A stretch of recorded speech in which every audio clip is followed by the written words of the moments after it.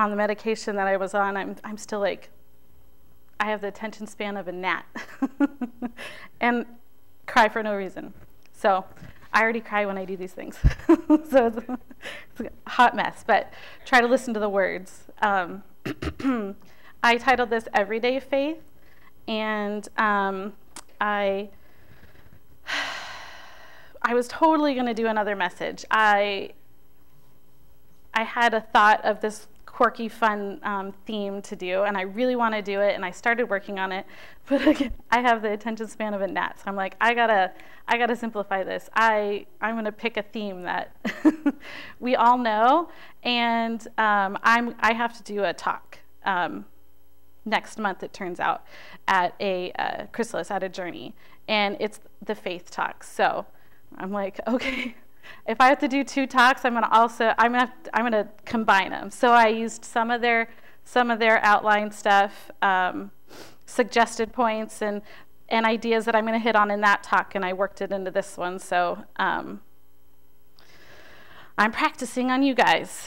Uh, the topics aren't new to any of us. I don't think I'm delivering any life changing insights, but I do hope that this dusts off some of our neglected corners and refreshes some of our habits. Um, the post it I handed to you is don't write anything on it, but at the end of the sermon, I'm going to ask that you. Um, think of one thing you do every day that's pointless and thoughtless. You don't have to do about it. You're on autopilot. And that one thing that you don't even think about. And I want you to write that down and I want you to, on purpose, pray before doing those things this week. And that's what that post it is for. Um, so, prayer, um, I mean, faith and prayer. Um, scripture. See, I have the attention span of a gnat. um, scriptures. Hebrews 11:1. Now faith is the assurance of things hoped for, the conviction of things not seen. 1 Corinthians 16:13. Be on guard, stand firm in the faith, be courageous, be strong. That's NLT, and I'm going to read that same one from the message. 1 Corinthians 16:13. Keep your eyes open, hold tight to your convictions, give it all you got, be resolute, and love without stopping. Ephesians 6, 16. With all of these, take the shield of faith, with which you will be able to quench all the flaming arrows of the evil one. I'm going to start with a story. I'm, I'm thinking some of you have heard it before, but it's still funny. One night, a man was walking along a path. He stumbled over a cliff and fell a considerable distance before catching himself on a branch. Looking down, he realized he might be killed if he dropped to the ground, and there seemed no way to climb back up either. So he began yelling for help. Is anyone up there? He bellowed. Is anyone around? Can anyone hear me? Pretty soon, a calm voice answered, Yes, I am here. The man paused in surprise and replied, Okay, can you help me? The voice answered, Yes, I can help you. The man paused again. Who are you? To which the voice responded, I am God. After another long pause, the man asked, What do you want me to do? God answered, Let go of the branch and depend on me to save you. This time the pause was even longer. Finally, the man called out, Is there anybody else up there? Faith is something that each of us deals with in our everyday life. And I think that there are different styles of faith. There is faith that moves mountains, those are the ones you read about in the Bible. Faith that moves your mountains. And there is the kind of faith that you draw on when you're like Daniel in the lion's den.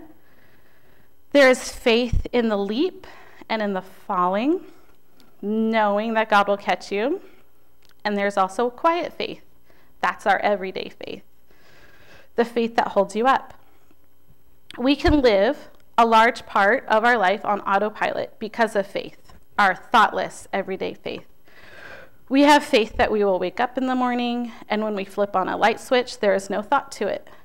You have faith when sitting in a chair, riding in a car, going to the grocery store, having a drivable route to work, even though Logan still insists on leaving 10 minutes early just in case. that the fridge kept your food fresh. All this is done without thought, because, but these things are vital. Things that would be notable if they were gone. But maybe we don't expect those things as part of our faith in God.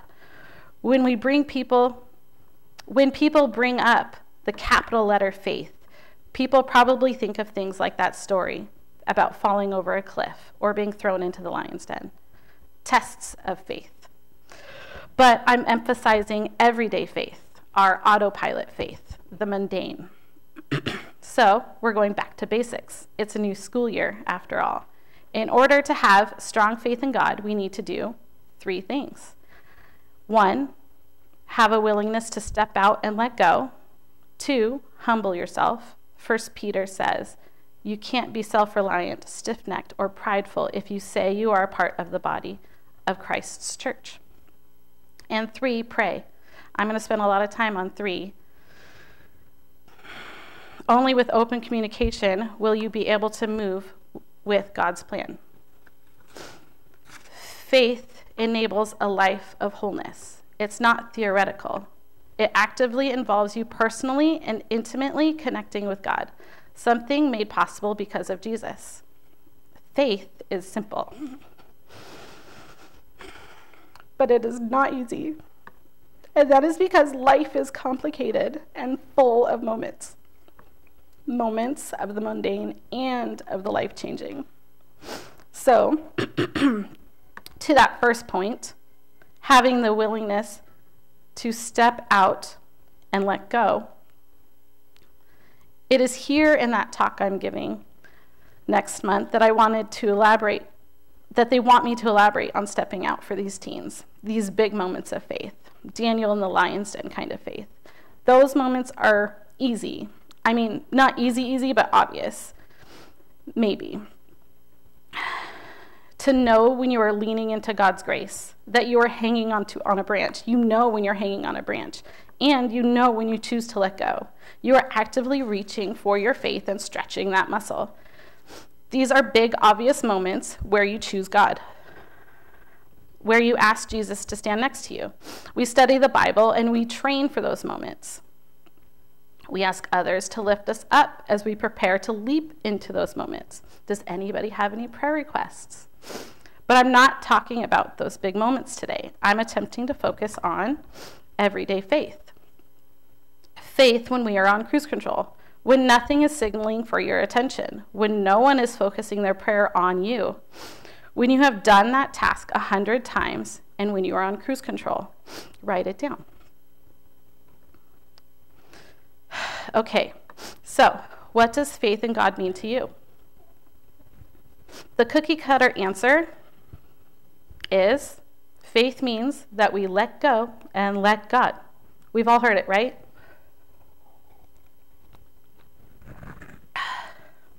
So that brings us to number two humble yourself. You can't be self reliant, stiff necked, or prideful if you are part of the body of Christ's church.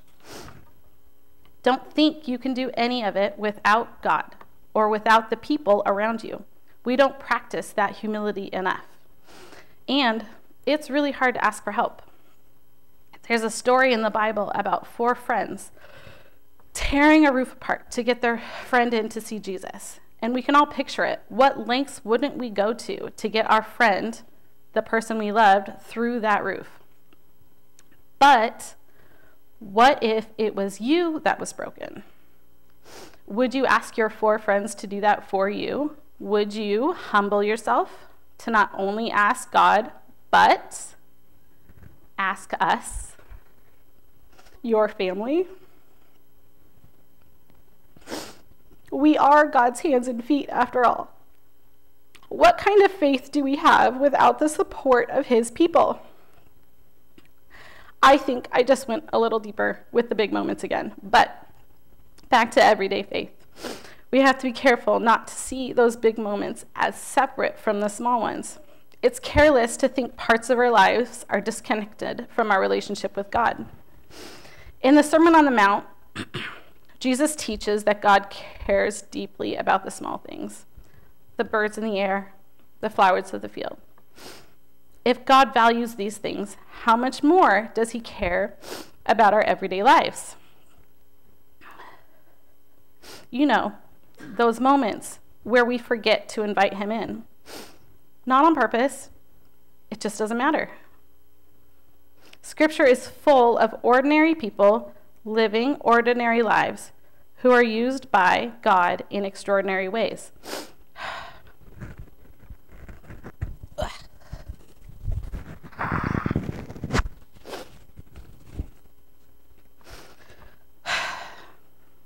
Ordinary people.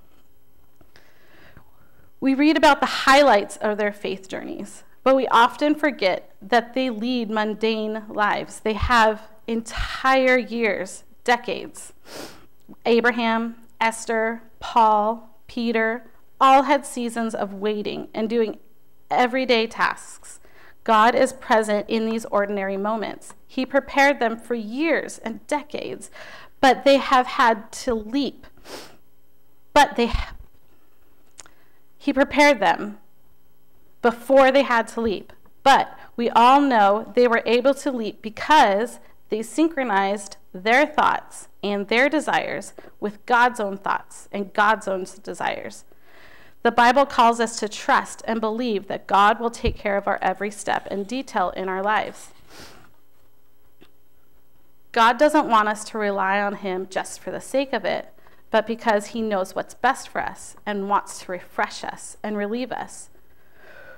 When we understand the importance of faith, of everyday faith, we will be able to not only survive, but to grow and thrive. Scripture says, This is why I tell you not to worry about everyday life, whether you have enough food to drink and enough clothes to wear. Isn't life more than food and your body more than clothing? Can all of your worries add a single moment to your life? Did you know that our brains our, our fear centers are seven times faster at responding to negative things than to positive. And the more we practice those negative things, the faster we get at it. Anxiety builds and grows. Repeat those negative interactions in your own head. We relive them. We think about that uncomfortable moment or this uncomfortable moment. We grab onto this worry and work it from different angles. But what if we practiced the positive instead of the negative? Let's think of that last interaction we had as a missed opportunity and think of ways we can be positive next time. Practice those positives that we could do tomorrow, next week, whenever. Maybe that's just praying for others or choosing not to worry, but choosing not to worry by instead building new thoughts, and we will grow that part of our brain and crowd out the negative. There are several scriptures imploring us to master our thoughts and turn towards God. That's what he means. Don't let your thoughts run away. In scripture, Jesus says that the daily stress dominates our thoughts when we are unbelieving. And by unbelieving, I think it means we may be thinking those areas are too trivial to be important enough to bother God. But Jesus is saying to us that the source of our stress isn't the workload at work or the ongoing to do list with home that is the issue. The source of my stress is our unbelief or our unwillingness to encourage a truly full time relationship. And living that way may cause us to live in our own heads, consumed by anxious thoughts like, how am I, how am I ever going to get that done? Or I have too much on my plate to get to that. Or am I trying hard enough with dot, dot, dot? There are areas of our lives where we don't involve God or just carelessly not think He's applicable, that it's insignificant to God. So we exclude Him from those parts of our lives, and not on purpose. We have just given it no serious thought. But Jesus says we have to pray unceasingly. Unceasingly, yeah. So, back to basics. Are you about to pay bills? Pray first. Invite God into that stress. About to fold laundry? Work on a truck? Cook a meal? Plan for a week of meals? Weeding, mowing, plowing, cleaning, driving, clocking in at work, meeting with friends, planning a day with family, taking out the trash, all the mundane. That's where God meets us. That is where we learn the sound of his voice so that when we get to that precipice or are thrown into the lion's den, we already have God in our ear. We have practiced listening. You know, the Bible kind of listening. That means to hear and obey. We are cultivating a habit of prayer for those harder times. That's what builds our faith brick by brick. All right, so what areas of your life have been dominating your thoughts recently?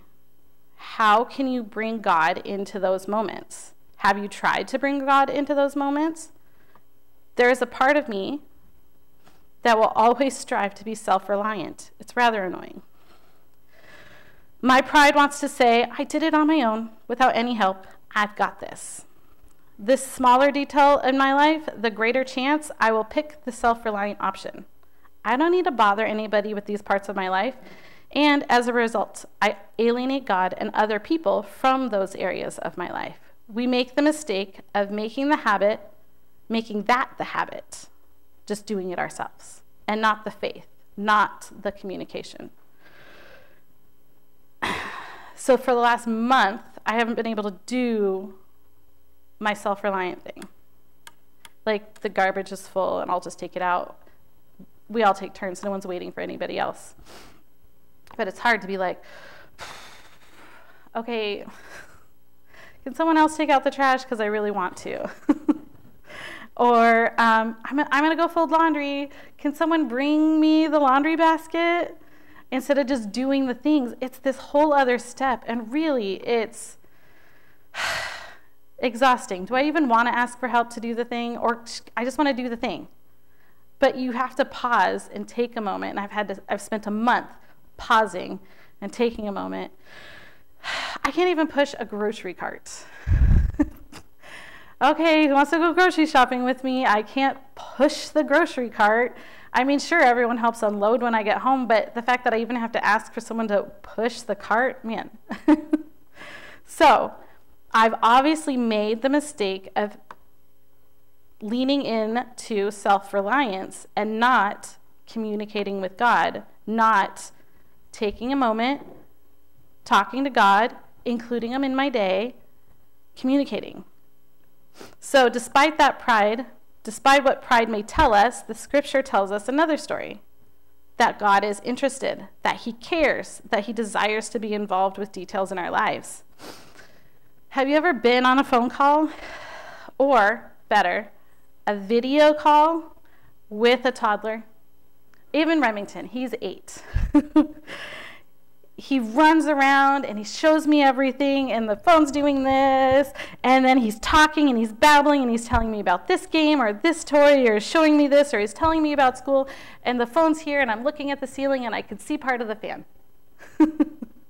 But I'm cooking dinner and he's talking and, and you got your video thing and it's not productive um, from point A to point B conversation. It's just keeping that relationship open.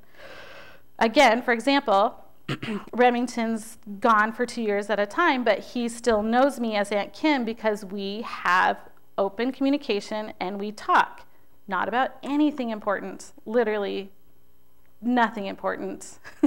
I think I rode the dog on the phone last week. but it's an open line of communication. He feels like he is connected and has that relationship with me. So, can we not have an open line of communication with God? It doesn't have to be just the important moments you know, when you call and you check in and, hey, this is what's going on. So and so started school. So and so's doing this class in college. So and so just had a baby. Check in on those moments for sure. But maybe try to have some some silly toddler moments with God where it's not important. You're just like, did you just, I just tripped over that rug. Thanks for catching me. 2 Corinthians 10 tells us that spiritual weapons can overpower our human defenses. That's self reliance. These defenses come in the form of pride, self reliance, intellectual arguments, emotional reasonings. We can have a lot of those as ladies. Ephesians 6 tells us that one of these many weapons that God provides for us is a shield of faith.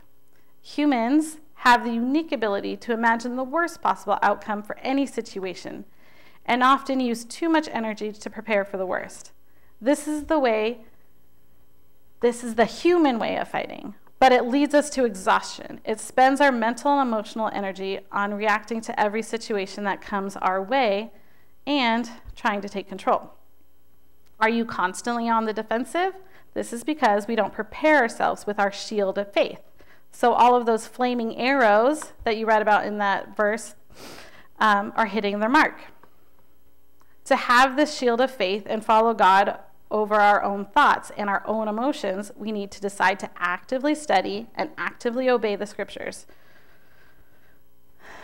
That's in Romans. Um, I didn't add keep. I didn't add the verse there. Romans 10 17, if you want to look it up. And that means not just simply reading or agreeing with the Bible, but finding and holding onto scriptures that help me focus on God and fight on the offensive rather than the defensive. We have to be we have to clear out the cobwebs and dust off the kneeler and confess our confess our shortcomings and leave that door open for that mundane part of our relationship. I, I worded it that way, leave that door open, because I saw, I saw a little video. Um, this lady, you just see a, um, a picture of a door, and this lady opens the door and um, goes like this Hey, God, prayer request. Okay, thanks. And shuts the door. And he goes, Wait, I, mm, and the door's already shut. So let's just keep the door open, even if we're just popping in. If you keep the door open, he, you're still keeping, you're more likely to have that conversation. All right, so we did humble. We're still working on faith, on prayer. Number three, faith, prayer. Um, being in prayer with God opens the way for God to enter into our lives. And as we communicate, it opens ourselves to Him, keeping the door open. Our faith and trust grows stronger. Philippians 4:19 says, "Prayer helps us to align ourselves with God's will." One of many reasons to pray is to verbalize those thoughts and concerns and issues in our own head. Our, we, it organizes our needs and our desires, our thankfulness into solidified thoughts, not passing thoughts. They always say, yes, you think those things, but really they're partial thoughts. But when you verbalize it, it means more. It, it takes you that extra step in your thought process. So praying to God about all these things, verbalizing these things, makes you more aware of them. You can think that God knows you are thankful, but do you know? Does your body know that you are thankful? Have you said it out loud and has your body felt that? Or do you just, you're like, yeah, I'm thankful? No. What are you thankful for? Um, speak it. There's a song, Speak Life, Speak It. If you, it's a good one too if you want to look it up. If you haven't consciously expressed yourself, how can you work in concert with God to achieve anything? Do we just go through life and occasionally pick up church activities? Or do we live a life so centered in God's word that there's no difference from what you do at church to what you do at the grocery store to working to driving or what you do at home? I got ready this morning and Logan says, That's what you're wearing to give the message? I'm like, Yeah, I'm giving the message on everyday faith. This is me every day. In James 5, you read the prayer of faith. James 5:13 Is anyone among you in trouble? Let them pray. Is anyone happy? Let them sing songs of praise. Is anyone among you sick? Let them call on the elders of the church to pray over them and anoint them with oil in the name of the Lord. And the prayer offered in faith will make the sick person well. The Lord will raise them up. If they have sinned, they will be forgiven. Therefore, confess your sins to each other and pray for each other so that they may be healed. The prayer of the righteous person is powerful and effective. Elijah was a human being, even as we are. He prayed earnestly that it would not rain, and it did not rain in the land for three and a half years. Again he prayed, and the heavens gave rain. The earth produced crops. In this prayer is labeled the prayer of faith in the Bible. We are reminded that the earnest heart is felt most by God. He says, continued prayer of a righteous man has tremendous power. That we should pray fervently, which means sincerely and focused, persistently and with conviction. This is where you get to be stiff necked. Not to be stubborn without God, but to be stubborn in your need for Him in your life. It also said the prayer should come from a righteous man, not a self righteous man, but a righteous man. As in, put on the breastplate of righteousness. This isn't something you earned, this is something that Jesus is providing, so God will hear us. So we pray in the name of Jesus. He covers us when we are not worthy. So we gratefully take our robe of righteousness and claim Jesus. To put on the breastplate of righteousness. Something I learned studying this week is that the breastplate of righteousness is also called the breastplate of approval. Does God approve of what you are asking? Are you sincere persistent, fervent. Jesus lived in a constant communication with God, seeking time alone when he needed to more clearly hear his voice. But Jesus found purpose in everyday moments. I imagine the 30 years up until the moment he started his ministry were full of mundane moments. He was learning to listen and hear God in 30 years before he was able and willing to step out and start his ministry. He had to practice. These moments in the Bible are present to remind us that we too are called to live this way, living entwined in Christ and allowing his presence to infuse our everyday lives. Walking with Jesus means being present with him daily. This relationship shapes our identity and influences every aspect of our lives. This ongoing relationship is the essence of discipleship. Learning to live our lives as Jesus would if he were in our place. Jesus desires our lives to be fruitful, producing the fruit of the Spirit through his relationship with him. And fruitfulness comes not from striving on our own, but from constantly seeking Christ and allowing him to work through us. At this point, I'm to the end of that outline of that talk. So I'm going to repeat the things again. You need three basic things for faith you need to have a willingness, you need to humble yourself, and you need to pray. And why pray? It's brought up so many times in the Bible. I am just going to read off a couple of prayer scriptures. Prayer helps us to align ourselves with God God's will. Philippians 4:19. Praying to God helps us to grow closer to God. Psalms 145:18. Prayer shows you that your life is not about you. John 17:15. Prayer gives us strength and hope. Psalm 73:26. Praying gives us wisdom and guidance. James 1:5. Prayers will increase our faith. 1 Corinthians 2:5. Prayers bring peace and comfort. Philippians 4 7. Joyfully seek God's forgiveness and resist temptation. Psalms 86 5. Give thanks and praise. James 1:17. And pray to experience God's miracles. I think this is one of the main reasons why it's uncomfortable for a lot of Christians to pray out loud in a group. It's so personal. And you're opening yourself up, your relationship with God to the scrutiny of other people and it's not it's not fun. If people will do it, we'll do it. We have faith, we'll step out, we'll take that leap to just pray out loud, but it's hard. But we'll practice and we'll get better. And we will try to listen and obey. There is a quick video that I wanted to include before I conclude.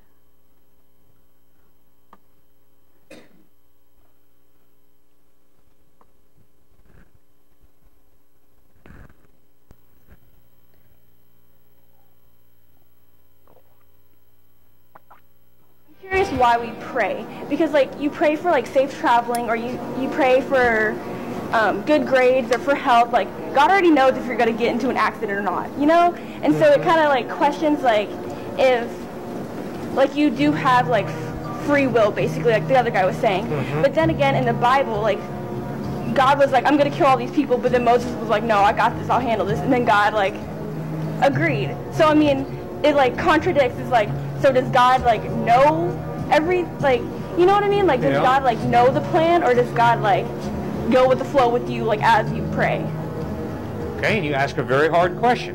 Why pray? If God is all knowing, why pray? All right. In our culture, too frequently, prayer is a way to hit the button to get the cosmic bellboy to fetch my bags. You know, I haven't studied for this test, Lord. I sure could use an A. So I'm praying to you for an A. And I sure would like a Mercedes in my driveway when I get home. Signed, Cliffe. All right. That's not real prayer. Prayer is not an attempt to get the goody goodies. Prayer is an attempt to develop intimacy with God. See, according to Christ, the purpose of life is to know God, to love and worship God, and then to love and serve people. So the first purpose of prayer is to get to know God. And that's why when you read the Psalms, you'll notice what a struggle prayer is. Prayer is not, now I lay me down to sleep, I pray the Lord my soul to keep. If I should die before I wake, I pray the Lord my soul to take. Amen. Good night. It's not prayer. That's a magical formula, a ritual. Prayer is a real struggle where I, as a human being, am struggling with God in prayer. That's the first point. Second point is, hopefully, what I'm learning in prayer is to learn to align my will with God's will. That's Jesus in the Garden of Gethsemane. Father, if it is possible, let this cup pass from me, yet not my will, but your will be done. That's good. I got a good buddy who ends all of his prayers with, Not my will, but your will be done. Good. Very good. Thirdly, does God use prayer to bring about his will? Absolutely yes. That's why James writes in James 5 the prayer of a righteous person is powerful and effective. In a way that I don't understand, God uses our prayers to bring about his will, to change events. He uses prayer. Does that mean that God depends upon our prayers? No. God doesn't depend upon our prayers. God does what God chooses to do. So, pray and learn to pray deeply right from your heart. Because prayer is you seeking to connect with the living God who loves you deeply. Watch out for people who say, if you pray this way, you get what you want. That's a lie. Prayer is not a technique to learn to get what I want. That ain't it. And you'll hear that often in the United States. Don't buy it. There's no magical way to pray so that your dying mother gets healed. There's no magical prayer to pray that you get a job. Okay? No. Prayer is, first of all, the human struggle to get to know God, to develop intimacy with God. Does God use our prayers? Yes, ma'am. Now, finally, What are the answers that God gives me to my prayers? First answer, no. No, Cliffe. Often that is God's answer to my prayer. Second answer, slow. Slow down, Cliffe. You're going too fast. It's going to take some time. Third answer, grow, Cliffe. You got a lot of growing to do. Grow up. Fourth answer is go, Cliffe. You bet. You're right in line with my will. Go. So those four answers, I think, are options to all of us. No, slow, grow, and go. So that's how I work with the issue of prayer.